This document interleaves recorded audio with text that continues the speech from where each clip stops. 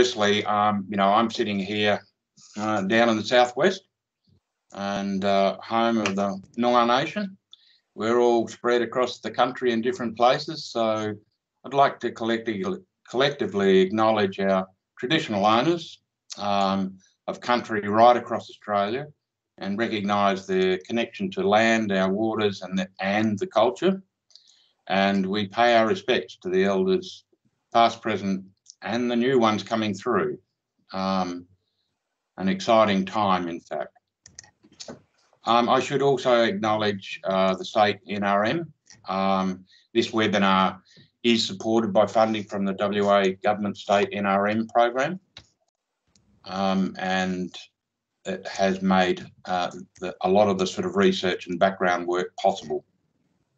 And of course, I'd like to um, acknowledge and welcome our speakers, uh, Stephen Kellie uh, from the Clean Energy Regulators Office, uh, Ben Lodge uh, from the Land Regeneration Group, uh, Tristy Fairfield um, from the carbon man the carbon team in, in DPIRD, and Jasmine Boxsell um, from Consolidated Pastoral Company in Queensland, um, who have an active herd methodology project running.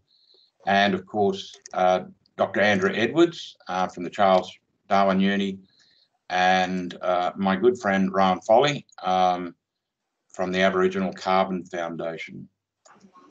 Now we're going to, in the sort of order um, that I've just spoken of the speakers, we'll go through in that order. Um, and no doubt, well, I hope most of you have been able to have a look at the fact sheets that uh, sit behind um, what's being delivered today. And just a little bit of housekeeping. Uh, please make sure that you keep yourself on mute. Uh, the questions can be typed into the conversation section. Um, and Joy Sherlock, uh, one of our staff, is collating those. And we will pose those uh, questions um, depending on our time at the end of the webinar to the panel. But if you have questions that you'd like to ask uh, privately, you can do that by emailing um, the info at rangelands.com.au uh, email address, which is on the flyer. And I'll also put it in the conversation section right as we speak now. Um, so without any further ado, uh, Stephen Kellie from the Regulator's Office, we're sort of looking forward to hearing from him and, you know, what might be updated, what's what's happening in the in the regulators' uh, world.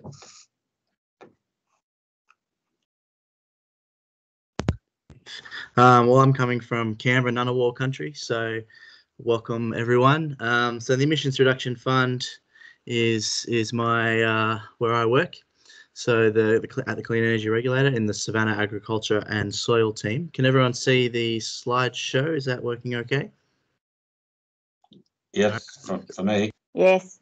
All right, excellent. Let's keep going then. So um, today I wanted to just go through the carbon farming and its benefits, and then we'll have a look at a few of the methods that uh, were on those those uh, sheets that came out, which I thought actually were really good. So good job on those. Um, so when we're looking at the the ERF, the Emissions Reduction Fund, really, obviously, it's uh, a benefit to both farmers and it's a benefit to the environment, and it's also a benefit to Australia in meeting its um, emissions targets. So um, on your farm, you're going to get some improved productivity. It's going to help the land, which is amazing um, and it's going to diversify your revenue. So you can think if you've got um, beef on the land or you're growing um, some sort of crop, you're also going to be adding another revenue stream, which uh, will hopefully help you out when the next drought comes. Um, and those, you know, are coming, um, and and various weather things are coming more frequently at the moment, aren't they? So. Um, so carbon farming activities, um, there's lots of different ones. There's lots and lots of methods. Um, mainly they revolve around growing trees um, or regenerating um, vegetation, storing carbon um, in soil, and better management of livestock and effluent. so eff effluent is burning off the methane in um, big pits, which is great fun, um, and managing savanna burning as well. So that's one of the bigger ones out in um, WA and Queensland, savanna burning. Um, and we've got um, quite a few cattle projects um, in Queensland, and we're hoping to get some out in Western Australia soon, as well as possibly into the Northern Territory, depending on the land there. Um, there is also a lot of industrial projects um, and methods, but I don't think we're concerned with that in this webinar. So let's move on. Um, so participating in the ERF, um, this makes it look quite simple. It is it's there's a lot of paperwork and there's a lot of work to be done uh, and it takes a long time. So you are in for the long haul when you sign up for the ERF so really you can just follow these steps thinking about the activities you want to do. So if you're on the land and you've got cattle then running a beef herd cattle management project um, sounds like something you could do. Um, you apply to register so you go on our website sign up and then you can register a project. We'll assess it and make sure that it's following the rules make sure that you're eligible, and then you um, can start running your project. Um, after that, you'll start submitting reports every couple of years, and we'll start giving you um, Australian carbon credit units, and then you do that over and over again until the project finishes. Um, so it's it's a lot of work um, and it is rewarding. There is there is lots of money involved, and um, so we, we we are um, pushing the beef cattle management method at the moment. So we're really looking for um, that as uh, along with soil projects to um, increase the portfolio here. Um, we want to help you. So if you have questions around any method and especially those ones, give me a call um, or send us an email and we'll help you out with those. We've got a bit more information on those particular methods later as well. But I think I've only got five minutes, so I don't want to dump too much info on you guys now. So as you can see, this is this is the state of the emissions reduction fund in July this year. So we've got 100 projects already in Western Australia and Queensland has even more. New South Wales has the largest amount, um, which is a lot of human-induced regeneration projects and the majority of the industrial projects. Queensland ha also has a lot of tree growing projects, has a few beef herd projects, and a lot of industrial projects as well. Um, so as you can see, a lot of ACCUs have gone out and when you think about how much that's worth um, on average at the moment, I think they're they sold at auction for around fifteen dollars. So that's a lot of um, a lot of revenue that has gone out into the Australian public, and a lot of ACCUs that have gone towards our meeting our targets for the uh, Kyoto protocols. All right, so let's have a look at a couple of the methods. Um, so a method is the legislation that governs what you have to do to be able to gain ACCUs is the very basic overview. Uh, it has various parts that tell you what you must do to uh, apply for a project, what you must do to um, then report on that project, and and what we have to do as a regulator to ensure um, that your project is correct and that we can give you ACCUs. Um, let's go forwards here. So one of the key ones, key parts of the emissions reduction fund is maintaining existing vegetation. So that is avoiding clearing of native um, trees and, and regrowth. Um, so there's there's some where you will stop clearing and let the pasture regrow uh, into trees. Um, there are some where you'll maintain a forest that's already there. And there's some where you will directly seed and um, uh, assist the land to regrow. So there's an avoided clearing project in the Maranoa region. Um, that project has already earned 1,000, 150,000 ACCUs, which is a very large sum of money and is a, an excellent um, sort of carbon sink um, so assisting regeneration, human-induced regeneration. So that is one of the key ones that um, everyone here seems to be interested in. Um, so to do that, you can uh, install new fencing, implement uh, rotational grazing to you know allow that that uh, land to regenerate. Um, you can get rid of all the goats uh, humanely, of course. Um, and again, there's another project there, and that one's earned 650,000 ACCUs. So that is an extremely large sum of money. Obviously, it's a very large project, Um, but you guys have a very large amount of land out in Western Australia, so I'd like to see some this size coming out of this, if possible. Um, planting trees, so reforestation, um, and there's the spe specific one around mallee planting, plantation forestry, new farm forestry plantations. So that those are some of the methods there. Um, if you have any questions around any of this, please give us a call, um, give us an email, have a look at our website. It has vast amounts of information. Um, okay, we'll, we'll move on because I don't have much time here. And I think we started a bit late. Livestock, uh, so beef herd cattle management. Um, this one is uh, basically what you're trying to do is grow the animals faster than you normally would uh, so that they're alive for a shorter amount of time, which means that they have less opportunity to um, emit methane from their burps, basically.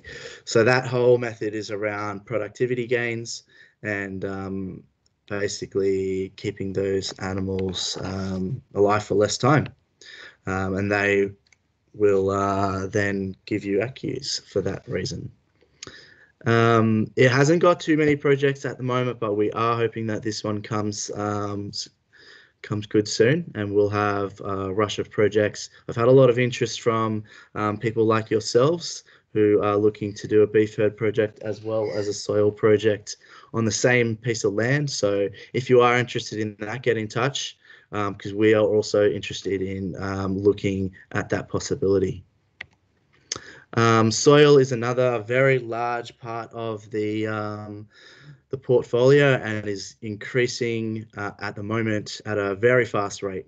Um, we have a very large amount of projects uh, coming in and being assessed at the moment. So what that is is changing your ag agricultural processes to store, store carbon in the soil um, you do a sample and then at the start and then you sample it before you report with us and the difference um, where it changes you can see a difference and that's the ACCUs um, again that one that one's quite complicated and is uh, it's an excellent method so there are people out there that can help you if you'd like to find them um, have a search on the internet um, so the future of the ERF We've had recently had a pretty big change. The method development has moved from the Department of Industry over to the Clean Energy Regulator. So we're just sorting through how we will be doing the uh, method development. Um, we've got a, a big set of priorities from the Minister already. So we'll be working towards that. Um, the Department of Industry um, will will still set the priorities guided by the minister, and um, there's um, there the blue carbon method is coming up, something that we'll be working on. Soil carbon, savanna burning are some that we're also looking at quite intensely, and we're hoping to either, either make some changes to those methods or make some newer methods um, coming in the next uh, year or so. There is also a new beef herd um, management method in the works. Science is still being sorted out on that one, so I can't really give you an update on the timing on that one. Um, but if you want to be involved with that, there is a there will be emails coming out, and um, I might send one through to the rangelands to see if there's anyone who would like uh, to find more information on that going forward. Um, look, and there's also that email address there, uh, method development at Clean Energy Regulator, if you want to find out more on that topic. Um, lastly, so obviously we look after the methods. Visit our website, give us an email, um, phone us up, ask for Stephen if you're if you want to talk to me. Otherwise, the contact center will guide you to the right place. Um, and follow us on Twitter. Uh, thanks for listening. Thanks, Stephen. And uh, a brief but great update from the um, CER office and um, I will be speaking with you again shortly. Excellent, um, thank you. Our next, our next speaker is uh, Ben Lodge on uh, soil carbon. Uh, Ben's had a long career working around production of natural systems, um, focused on aligning land use with, with uh, land systems and particularly on increasing product production and profit profitability while you know doing that. So um, I'll hand over to you, Ben, to uh, and try and get your slideshow up at the same time. Thanks, Steve. Um, I will. I've just had a storm pass through here, I'm over in um, Queensland, so I might keep my uh, video off so that you guys can just hear me, hopefully. Am I coming through all right? I presume so. Um, Yes, mate, all clear. Okay, thanks, guys. Right, Steve, you've got that. Um, so soil carbon plays an important role in the rangelands. Um, carbon, as most of you will know, is the foundation of all life, and it's the engine for soil fertility. Carbon's the building block of microbes as well, which are the driving force behind nutrient cycling, getting nutrients into the root zone, creating topsoils, and getting nutrients for pasture as well. And that can help with nutrient intent- integrity, nutrient density. It's also really important for water retention as well. Um, on average, rangelands lose around 92% of rainfall as runoff, which is pretty sad. Um, and a little known fact is that one gram of carbon can store 28 grams of water. It's effectively like a, a, rainfall sponge, um, and it really helps soak up the rain. If you do some assessments on rangelands have got really good carbon content, you can actually have a 100 mil rainfall event soak straight in um, to the soil. Uh, however, mostly it usually runs off and ends up um, in the creeks and washing down. Uh, next slide, please, Steve. Uh, soil carbon has been losing, um, been getting lost from um, the ground over over the last couple of centuries. Um, and globally, around 50 to 100 billion tonnes have been lost since the Industrial Revolution. Uh, for me, that's that's really important because it indicates what we can actually get back into the soil. Um, this is around when you sort of start looking at your own properties. Uh, this obviously this is average. That's around 14 and a half tonnes of carbon per hectare. Um, that's carbon, not CO2 equivalent. Um, and if, in a practical sense, when you convert that into the um, one gram per 28, uh, that's 40 mil of rainfall, which is would be much better to have on your property than off it. Um, if you can go to the next slide, please, Steve. Now, this is what I call the brain hurt slide. Um, so, uh, brain hurt because it helps put the financial context around it. Um, as everyone knows, climate change, for better or worse, is now a term that everyone knows. Um, globally, globally, countries are signing up to emissions targets, which are based on many factors, one of which is keeping um, our temperatures down below one and a half degrees.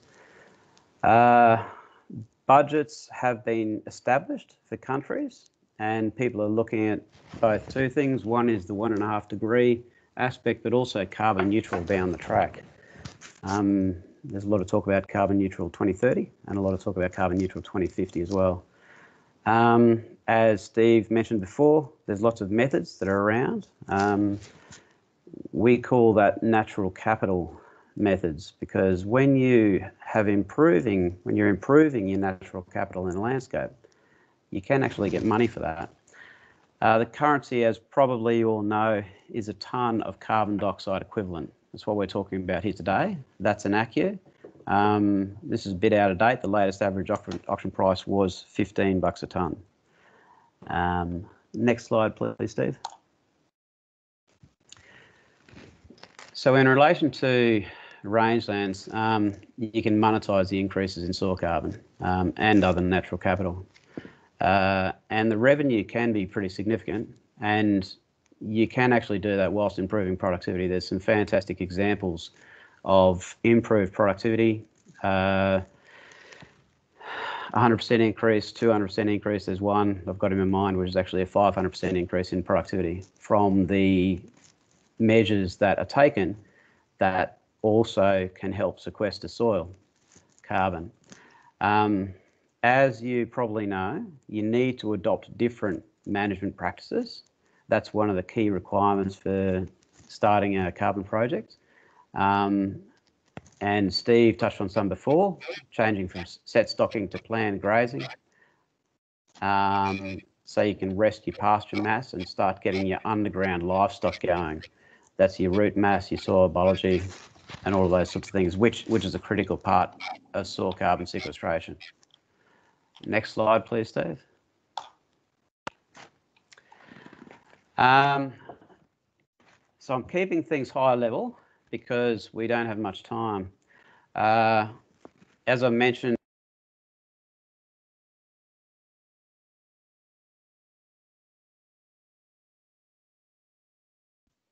Ben, we seem to have lost you. Are you there? He's, go- he's gone on mute for some reason. okay, have you got me back? Yep. We do. Okay, sorry about that, guys. Um, so keeping things pretty high level because we don't have much time. Um, a key question everyone should be asking before they start any new practices on their property, and new practices must be undertaken for the purpose of a carbon project. Um, but you should be asking, can I earn natural capital revenue from this? And is it appropriate to be using this practice to generate this revenue? Um, our view, Land Regeneration Group, is that practices should target improved production and they shouldn't lock up land. Um, and we believe that there are many practices that can be applied to do that and get significant natural capital from doing that. Obviously, you need to consider the property objectives, resources you've got, and land characteristics, and all those sorts of things. That that is a big part of it.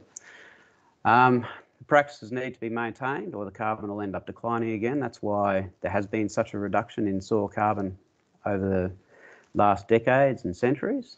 Um, and the carbon must be properly measured. Steve talked about this a little bit before. Uh, carbon in soil is very variable. It's very complex, um, and it has to be measured. That's been one of the major impediments to why rangeland soil carbon projects haven't been taken up and very accessible previously. Um, that has to be properly measured, it has to be taken into consideration uh, significantly. Um, and then obviously at various intervals throughout the project, yeah, you must measure it. Um, as I mentioned before, sticking points historically have been measuring carbon at, sc at scale. Cost of adopting new practices can be a key consideration because you do have to adopt new practices. Some of them, wire and water, can be pretty expensive. Um, and the reliability of sequestering carbon is also something that needs to be managed carefully. Uh, if you don't adopt practices that are robust and defendable, then you can actually spend a lot of money if you're doing it for the carbon projects and sit there spinning your wheels without necessarily getting a lot of carbon in the ground. However, there are good practices. Um, they can be adopted. They are proven. Um, and in our view, uh, it's not easy, but the upsides are significant, especially when it increases productivity as well. Thank you, Steve. I hope that's um, sufficient enough to give everyone a bit of insight. Thanks, thanks, Ben, and I appreciate the fact that we're, you know, the time constraint means that, um, you know, we're we're pushing through on some of these things where it would have been great to spend another, you know, 10 or 15 minutes talking about it. But thanks, Ben. Um, next, we have Tristy uh, Fairfield, uh, who will speak on about human-induced re, uh, regeneration, and uh, and she's with the Department of Primary Industries and Regional Development, and has um, is the team leader, I think, Tristy, um, with that group. Thanks, Steve. Um, can you see the screen that I'm sharing at the moment? Yes, I can. Everybody else? Okay, Yes. great. Yes. So thank you for the invitation to speak today. I'm going to be talking about the human-induced regeneration methodology. So this methodology involves increasing the so-called forest cover of um, native tree species that are indigenous to the local area. And when we use the term forest, it's a fairly loose definition. It means getting areas of sparse forest cover to areas of a two metre um, height or a 20% canopy cover. Um, importantly, it doesn't involve replanting and any of those activities would render a project ineligible. So it's only about natural regeneration and it's mostly applicable to grazing lands in semi-arid regions. Um, so what it involves is managing um, external pressures, so particularly cattle grazing, to allow that um, revegetation to naturally occur. So it doesn't generally, as Stephen mentioned earlier when he was talking about this method, it doesn't really require more intensive farm infrastructure, not a whole lot of new fencing or that sort of thing. It's more about um, managing the way that the cattle graze or potentially feral animal, animal management, excuse me, or access to water and so forth. So importantly for um, HIR projects, because they have a, um, a 25 or 100 year permanence period, the, um, the consent of eligible interest holders is concerned, of which the state is one. So this method's been quite um, well taken up in Western Australia so far, particularly in the Gascoyne, Midwest, Northern Wheatbelt and Goldfields areas. We've had 59 projects registered, 17 have got their state consent, and two projects have already started receiving their, excuse me, their Australian carbon credit units. So as you can see there, the projects have got contracts to deliver almost 10 tonnes of um, carbon abatement and um, an estimated $136 million. So I'll just show you this map. So this is where most of the projects have been, or all of this shows all of the projects registered to date. And you can see they're all in the Southern Rangelands area. And, it's important to note that even though there's no actual geographic constraint under the um, CFI Act, um, when projects are going to be registered in other areas, there's a lot more, um, excuse me, there's a lot of things to consider if you're going to be looking at projects that are in different areas. So this shows the forested areas in the um, southern rangelands, but importantly, you can see that there's the potential, this orange area shows the potential for regrowth, and there's also areas in the Kimberley. So these are the questions that um, the state government will be addressing when they're talking about um, giving EIH consent for projects. So you can see the first one, the project area has to be on a pastoral lease land. The projects have to have a permanence period of 25 rather than 100 years. The project proponent has to be the pastoral lessee or have an agreement with the lessee. The remaining terms of all leases have to be long enough to ensure that the legal access is in place for the entire length of the project. So as we said, that's got to be um, the 25 year period. And the activities have to be consistent with the definition of pastoral lease purposes under the Land Administration Act. So particularly that means that you wouldn't be destocking your areas because that wouldn't be consistent with pastoral practices.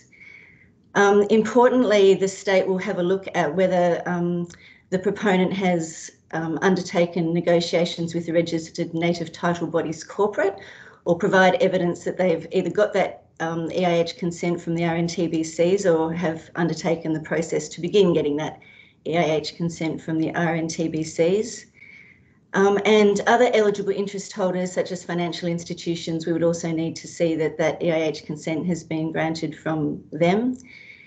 And importantly, and this is particularly obviously in the Southern Rangelands, but also any projects in the, the that Kimberley region that we've just been looking at, um, any of the um, mining interests, so existing mine leases have to be excluded, pending mining leases have to be excluded, and um, petroleum, existing and pending petroleum production areas also have to be excluded. Um, if there's any other um, state infrastructure or state agreement areas, they also have to be excluded. And in particular, in those new sort of emerging areas in, in the Kimberley, um, landowners would want to be thinking about um, the timing that would take to get some of those um, uh, consents, particularly with the RNTBC consents. Um, just over 90% or 93.5% of that area is uh, determined claim areas. So you'd want to be thinking about the timing of um, gaining those consents. Um, I think that's about all in terms of um, the state's expectations in terms of getting those consents. We're happy to obviously take any questions about that either through the Rangelands NRM or directly. And um, I'll hand over to you from here, Steve. Thanks, uh, Tristy. It's uh, good to have you guys on board. And uh, I know that um, the team's been working pretty solidly on on HR for some time now. So, um, and it'll be very interesting to see um, when uh, some of these uh, actors actually enter the marketplace from WA. Um, next, we have uh, Jasmine Boxsell from um, Consolidated Pastoral Group. CPC actually have a herd methodology project up and running and uh, so it'll be great to hear from uh, someone who's actually um, a pastoralist uh, or representing a, a, a, larger pastoral group um, that has an active project. Thanks, Jas- Jasmine. Fantastic. Thanks, Steve. Good afternoon, everyone. Great to be here this afternoon.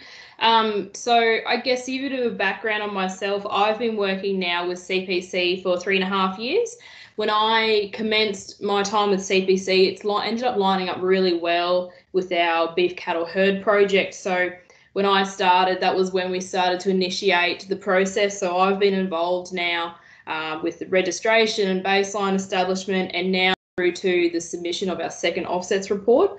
Um, to give you a bit of an outline on what I'm planning on covering off on this afternoon, I guess I've got uh, three key messages I want to go through on my experience. So, you know, firstly, why did CPC choose to join in the beef herd me- management methodology? What was required for us? And how's it going and what have we learnt? So just bear with me. I'm going to try and share my screen here. So so I guess uh, firstly, why the beef herd management project? Um, we had prior experience with the emissions reduction funds. We have a savanna burning project that's sitting um, at one of our Queensland properties, and we saw the opportunity to leverage more benefits uh, across the entirety of our herd by registering for this project. And what really made it quite palatable for us was how well the requirements for the herd project aligned with our pre existing herd management practices and productivity targets. Um, I'm not too sure if the participants here today have seen this before, but I've included a, a direct quote that's taken from the methodology paper. And what this really shows is that the methodology and its requirements perfectly align with the targets that we should be striving for already in our business. So as you can see there, um, it's about undertaking activities that are expected to reduce emissions by either increasing the weight per age of the herd, reducing average age of the herd, reducing the proportion of unproductive animals in the herd, or changing the ratio of livestock classes within the herd to increase total annual live weight gain. Um, so, with that, what was required?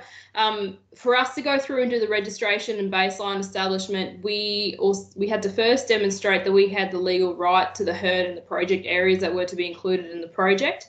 And then from that, we had to demonstrate our, our baseline. So I guess my understanding of the baseline was that it demonstrated what your emissions intensity was the three years immediately preceding to when you were intending on starting the project.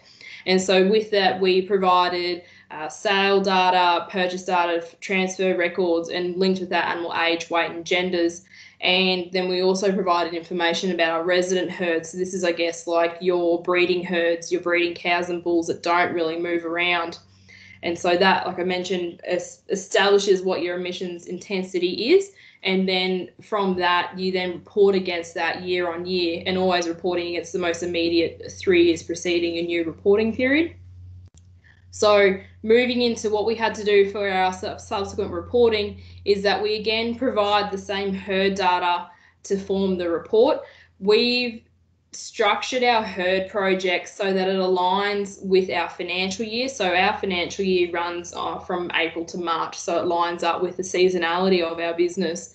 And what that means is it kind of keeps everything nicely, neatly packaged with all of our processes. So once we closed out our financial year at the end of March and we went through and did all of our reporting on that, I then also initiated the activities to start pulling together our report to claim on that year as a part of the herd management project.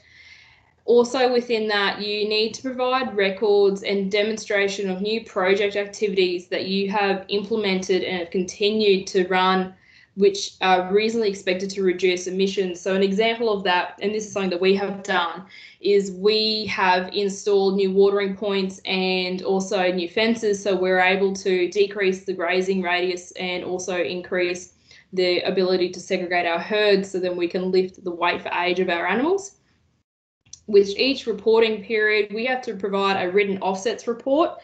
And this is essentially just a written report that relates to that period and it just details the critical information relating to that. So, again, your herd data, the activities you undertook. And paired with that, we are required to also be audited and provide that audit report. And we can't use so you can't use a financial reporter for that activity. You do have to engage a registered greenhouse and energy auditor. Um, and so these guys essentially go through and check what you've done for that reporting period and they provide assurance to the clean energy regulator that the project meets and complies with the requirements outlined in the methodology and that it also complies with the requirements of the Carbon Farming Initiative Act. My understanding of the two is I guess you've got your beef cattle herd management determination, so there's specific guidelines with that that you need to meet, but then you also have the Carbon Farming Initiative Act that links to that, and there's also requirements within that that you also need to meet. So how's it going and what have we learnt? Um, you know, like I was mentioned, we've just come off of the submission of our second report. So we're now two years in, which is very exciting for our business and it's going really well. In our first year, we produced 47,000 ACCUs. And with our second year, we are looking at producing close to the same number of ACCUs. It's just not confirmed yet until we're actually awarded that from the Clean Energy Regulator. Um, and what have we learnt from the process? For our business, we've learnt that it is, I suppose, restricted by scale for us. Um, with our herd size, and if you consider that our first reporting year we had 47,000 ACCUs, it equates to only 0.2 ACCU per head. And I guess understandably for each business, it will vary exactly the benefits are for you to engage in the project. Um, but just really, when you're going through that process, also consider the time required, I guess, to go through the administration requirements of the project um, and also the direct cost associated with that. So, um, I guess for us, we engage an external service provider that assists the process. Um, so there's a cost of that, but then there's also the cost of, say, my involvement. For my role, it's 20 to 25% of my role and my time dedicated to these projects. Um, and then something else that we've discovered through the process is we get benefits by having the project spread across a geographical dispersed areas. So for CPC, we've got cattle stations in central, western, and northern Queensland, Northern Territory, and northern WA. And having this spread, it assists us to climb to, I suppose, ride out any sort of isolated climate risks that might be happening in those areas and impact and those climate risks that might be impacting our herd. And this was really notable with the second offsets report that we've just produced because in this period, what we've noted is some herds have produced ACCUs that didn't produce ACCUs in the first year, and then there's also the flip of that where there's some herds in the first year that produced ACCUs but in the second year have not. So that's just something else to consider. Obviously, there are also just herd flow impacts for our business that will also impact the acu, ACCUs produced. Um, as I mentioned, we have engaged an external service provider to assist us. I think that they're an incredibly valuable resource for our business. They really provide the niche expertise that help us to go through the processes of registration and report, uh, producing our reports and submission. And um, I guess by bringing in someone that's really an expert in that area, they're able to understand the really minor ins and outs that are associated with participating in these style projects. Um, and I guess to kind of close out, what, and it links again back to my point that I made at the start, was that what really is fantastic about this project is that it's, you know, you get the benefits of reducing your emissions and the ACCUs produced out of that but you also then get the benefits out of just overall increasing the productivity of your herd. So there's a lot of co-benefits that link and interrelate to each other for this project. Um, that is my very brief run through of our present uh, of our experience. Thank you, everyone. I hope that's enough to give you a bit of a scope of of uh, what's involved with the herd project. Thanks, Steve. Wonderful. Thanks, thanks, Jasmine. Uh, and it's uh, again great to hear from a, a, real practitioner um, with a with a project that's up and running, and some really interesting points there around 0.2 ACCUs per beast, if you like, and uh, and of course the the um, confirmation that the activities that are actually implemented um, also have productivity gains beyond the ACCUs, which is uh, great to hear that, that that's actually the case. Um, the next uh, methodology we look at is um, savanna burning. Uh, very briefly, and I acknowledge um, someone's comment on here already that we should have had a couple of hours, and and uh, yes, that would have been great, but uh, it is what it is. Um, but thank you, Andrew, for coming on board. Um, Andrew has uh, worked in bushfire, you know, research and tropical savanna for for um, many years, and um, has been involved in sort of uh, burnt area mapping and data collection and analysis um, for, for a long time. And in fact, uh, part of um, his work and the development of regional GIS um, across the top end um, fed into the savanna burning methodology in the early days, as I believe. Thanks, uh, Andrew. That's fine. Uh, hi, thank you, Steve, for the introduction. Um, can you all hear me? And can you is my um, PowerPoint sharing? Yes. Yes. Yeah, great. Okay, so um, I'm here today, obviously, to talk about savanna burning, the methodology that's applied in the northern, probably about 20% of the continent. Uh, I work for a group called the Darwin Centre for Bushfire Research. We're based, based now at Charles Darwin University. And that's their lovely templated presentation, which I think you'll well, like could admire. Um, just a little bit of background information on savanna burning. So the, the, methodology itself is based on many, many hundreds and hundreds of sites of uh, field data that we've collected uh, measuring biomass, pre and post fire biomass uh, at lots and lots of sites in different types of uh, vegetation classes, which we ended up classifying as vegetation fuel types based on the um, basal area, so how many stems there are, so an open forest as opposed to a woodland as opposed to an open woodland, and the uh, dominant understory grass um, habit, so whether it's a hummock or a tussock grass. Hummock grass is being mostly spinifex and the tussock grasses, you know, being your uh, chrysopogons, etc. So um, those data uh, we collected over many, many years, right across the Kimberley and right across the top end and up into Cape York as well. Uh, the other important thing about the methodology is that it fits within an appropriate climatic zone. This was um, work we did um, with, you know, the BoM's rainfall data, 100 years of rainfall data, looking more specifically at the data since 1970 um, to determine where um, and, and that's intersected with our fire history information. So, for those of you who don't know, the Darwin Centre for Bushfire Research um, produce and manage the, the NAFI website, North Australia Fire Information Mapping website, where we map about 70% of uh, the Australian continent. And we've been doing that for nearly 20 years, well, not all of the 70% for 20 years, but especially the top end for um, about 20 years. And um, we used those that fire mapping to look at, you know, where we were getting a very seasonal nature of fire, so where it was most appropriate to apply savanna burning to reduce wildfires and improve um, greenhouse gas emissions. Was predominantly where we started, and so those uh, that's why the um, the the region that it's appropriate to use the savanna burning methodology exists is because it's above about 600 millimetres of mean seasonal rainfall. And um, you have that uh, driest quarter having less than oh sorry that's a typo. It's not 500 it's 50 millimetres of rainfall in the driest quarter. So that means you have that distinct wet season and dry season each year.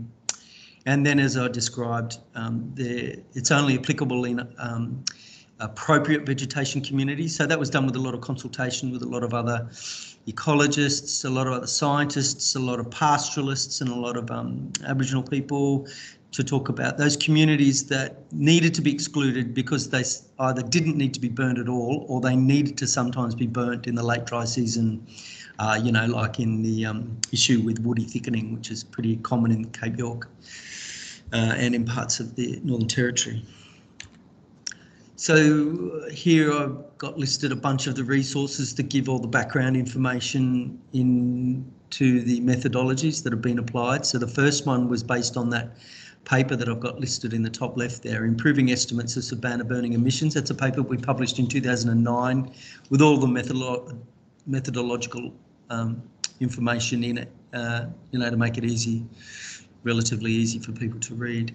Then that book came out, Culture, Ecology and Economy of Fire Management. So in conjunction with all of the data collection that we did, we worked with a lot of Aboriginal people in Arnhem Land who were still um, managing country in some parts. Uh, um, you know, with uh, a, a, fairly strong continuation of their cultural history and, and, and management style. So we this book sort of reflects on the information we gathered from them and the history of that area, and a lot of methodology in there as as well. So that that book's pretty uh, pretty useful in understanding where the methodology came from and how it fits in really quite strongly with um, you know um, indigenous traditional knowledge of fire management in North Australia. And then um, the the the 2000 um, so that was what the 2013 methodology was based on. Then the 2015 methodology included the lower rainfall zone, which is um, below 1,000 millimetres down to 600 millimetres of mean seasonal rainfall. And uh, that's all of the um, methodological information is available in that second book, The Carbon Accounting and Savanna Fire Management.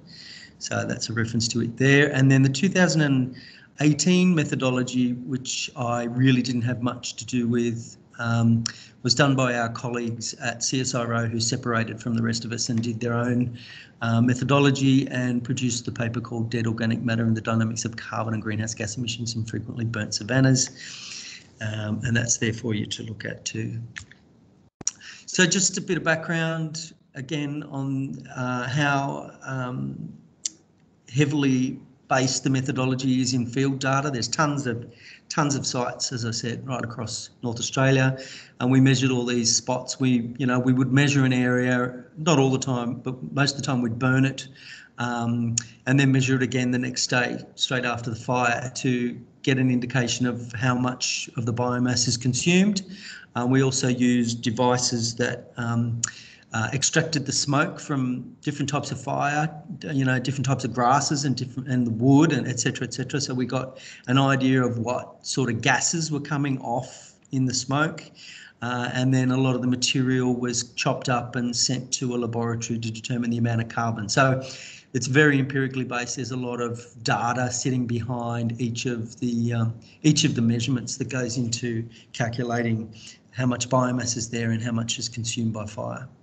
So these are the major vegetation fuel types, the eucalypt open forest up the top, woodland, eucalypt open woodland. You can see it's the number of stems and the canopy cover lessens as you go down through that those structural classes. Um, and then you've got sandstone woodland. It's that photo up the top there. You can see scattered trees, but lots of spinifex and lots. It's mostly all that rocky country that you find um, in the North Kimberley and across sort of the centre of the top end and um, up the up the top of Cape York. And then you've got your sandstone heaths, which uh, more structurally described as shrublands with hummock grass understory. So again, very few trees, if any, and lots of shrubs and lots of spinifex. So they're all very different uh, and distinct fuel classes that we were able to establish from the data that we had. That's how that ended up. And here's sort of an Australia-wide, uh, sorry, North Australia-wide version of that vegetation fuel type map that we did initially. And that's what sits on SAVBAT for people to um, uh, to uh, estimate their emissions for various uh, parts of the country. Um, so at the moment, there's there are quite a few. I think there's more, probably more than 76, less than 80 registered projects across North Australia. So a big mob, uh, mostly on pastoral properties up in Cape York. The NT is pretty mixed. You can see all of the eastern half of the top end. That's all of Arnhem Land. That's pretty much covered in projects. Kakadu and some pastoral stations to the west of that area there. And then in the Kimberley, you've got all of those um, Balanggarra, Wilinggin, um, Dambimangari, uh, and did I say Balanggarra? They're all um, projects in the high rainfall zone in the low rainfall zone. There's the AWC properties, Marion Downs, and um, a number of the national parks, King Leopold, etc. So you can see there's quite a bit of area that's covered by savanna burning and um, earning quite a bit of money per year. Um, in Western Australia, it's in the order of about $20 million um, being earned per year in carbon credits. It's an estimate because we don't know how much people are selling their carbon credits for after they get them, but sort of based on an estimate of about 15 or 16 dollars per tonne. You can see there, there's um, quite a basic, quite a lot of ACCUs being earned. Uh, some people are just holding them in check, and uh, a lot of the parks have only just recently registered, so they haven't uh, earned much yet. Um, but you can see it's quite an array of uh, property types from different sectors, so Aboriginal land, um, conservation land and um, agricultural land. Um, this is the area, so it's a total area of what's uh, the seven, 7.6 million hectares, quite considerable. Um, this is from a recent paper that we're um, just publishing, just outlining all the statistical, you know, statistically all the benefits of the program and um, what it means. So the reason why we've used these two periods, 2000 to 2012, then 13 to 19, because the first methodology came online in 2019. So we're just assuming that from that date onwards, things um, have changed, uh, maybe improved. But I mean, I think the data quite clearly show that they have improved in those areas with no project. You can see early dry season burning has not changed very much at all from 12 to 13%. That P value is a statistical value that um, uh, um, calculates the significance. If a, so, it's like you're looking for things to be more than 95% significant. So if it's uh, less than point, uh, 0.05 or less, then you say it would be significant because it's like 5% of the data is um, uh, not correlated. So, and then in the late dry season in the no project areas, you can see that um, again there hasn't been much of a there's a bit of a change, but not much from 21 down to 90, 19%. But then in the with project areas, you can quite clearly see very very big changes. A lot more early dry season burning from 14 up to 25%. Late dry season burning wildfires have gone down from 26 to 7%. Um, and then um, uh, again, if we break that up by property and sector, you can see that many, all of the Indigenous properties have uh, significant um, improvements, increases in early dry season burning. A couple of them have got uh, quite significant decreases in late dry season burning. Uh, Prince Regent National Park's got a significant decrease in late dry season burning.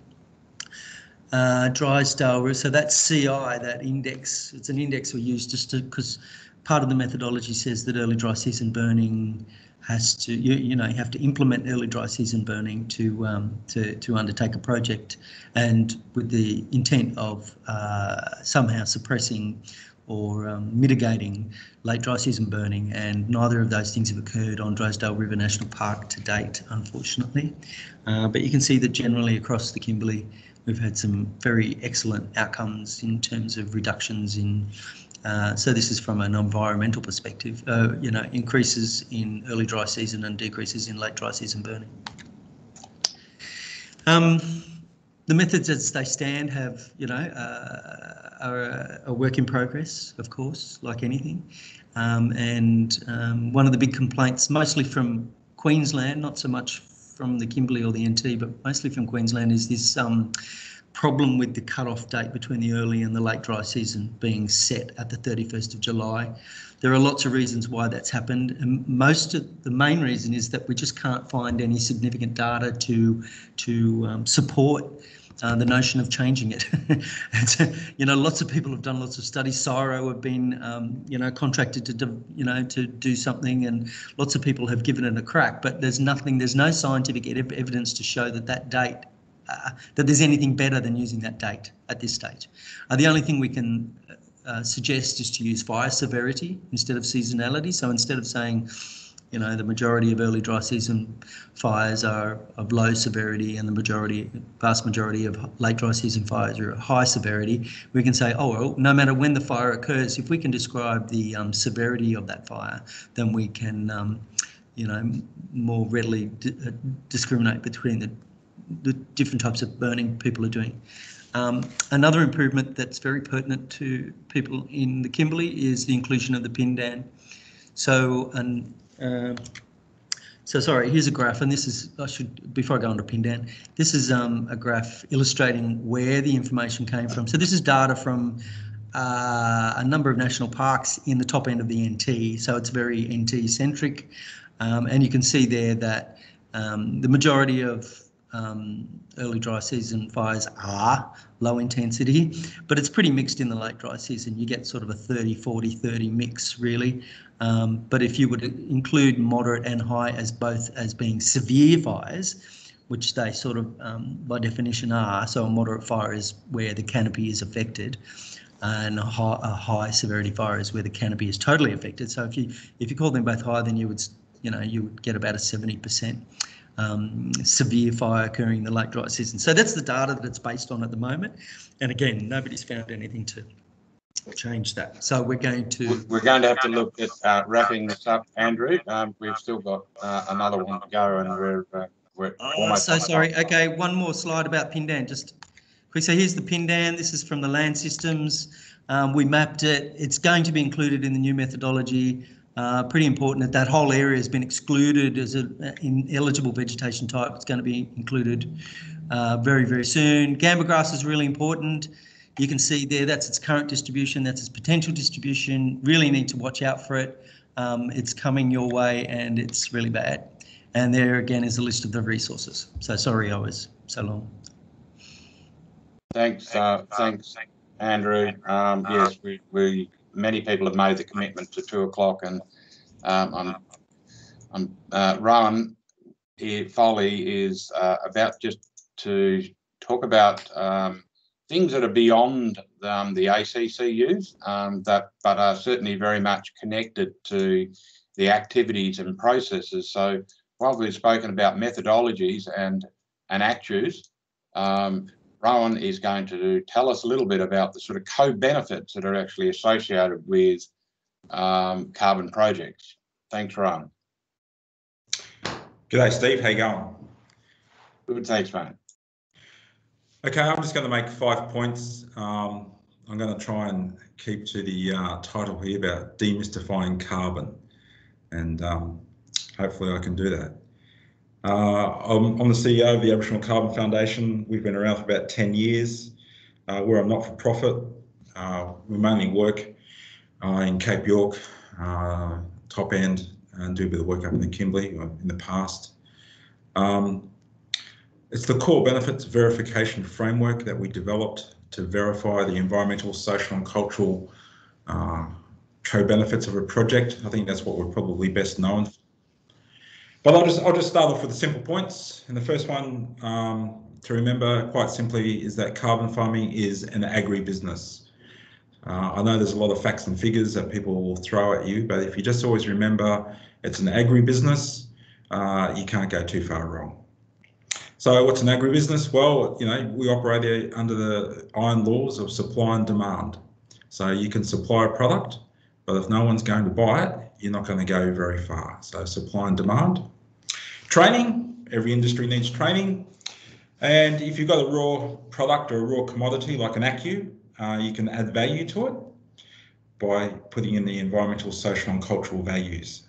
So, you know, and that's, you know, you don't need to be Einstein to figure out that if you sell the raw product, you're going to get uh, the base price. But if you add value, you will get a premium price. So, you know, you don't you don't have to be too smart to figure that one out. Uh, there are two markets. There's a government market that will offer you the base price for the base commodity based in Canberra, lowest cost abatement. If you go to the other market, the voluntary market, they will pay a premium. So I've just delivered literally several hundred thousand dollars worth of investment to an Aboriginal community last week.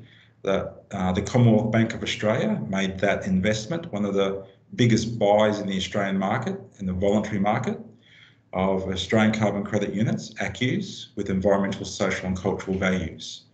Now the bank are going to use it for their promotions, their PR, uh, in amongst their staff, as they've got 50,000 staff in the bank, and they use it to promote it internally as well as externally with clients. But really, that's what you're, you're aiming for is private investment. Uh, if you can't, you know, that's that's that's where the that's where the money is, and that's where companies are willing to back you.